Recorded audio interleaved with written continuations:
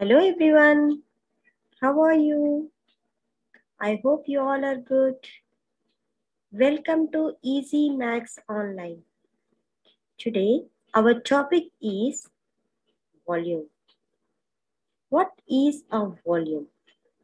Before starting, please subscribe my channel and press the bell icon. So let's start. What is a volume? We should know first, before solving any volume, we have to find what is a volume. We should know the difference between volume and a area. Volume is the capacity of an object or how much space it occupies. The space which occupies in the in this shape is called a volume and volume is usually used for 3D shapes, not 2D shapes. For 2D shape, we use area. So for volume is the amount of space or amount of liquid comes in this cylinder is called a volume of the water.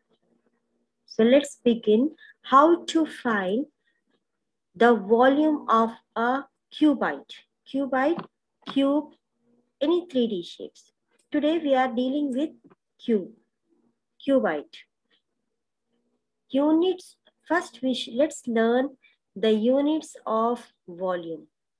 So volume units, if it is given in centimeter, your volume comes in centimeter cube. If it comes in meter, it comes in millimeter cube. Meter, meter cube. So let's solve how to find the volume of a cuboid. In a cuboid, we have, cuboid is a three-dimensional shape. We have length, width, and its height. If they ask you to write your answer in millimeter cube or centimeter cube, how should we do this one? The first step is to check the units. Is all the units are given same? Yes, here you can see centimeter, 4 centimeter and 10 centimeter. All are of same units. So now you can proceed for your solvation. So first we should know what is a volume of a cuboid.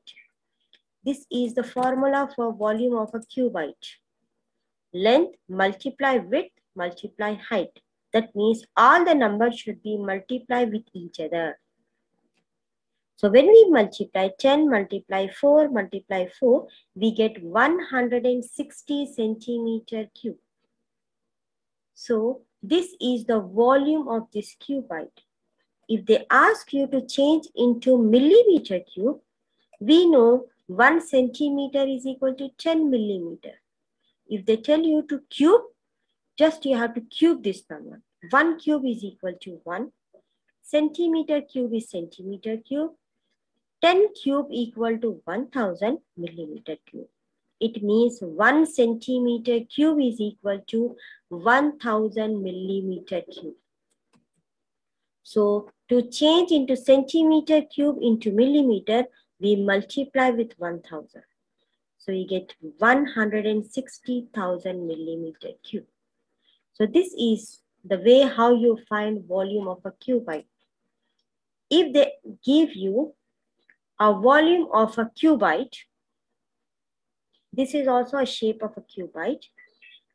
You can make it, it looks like a cube, but uh, it's with different measurements.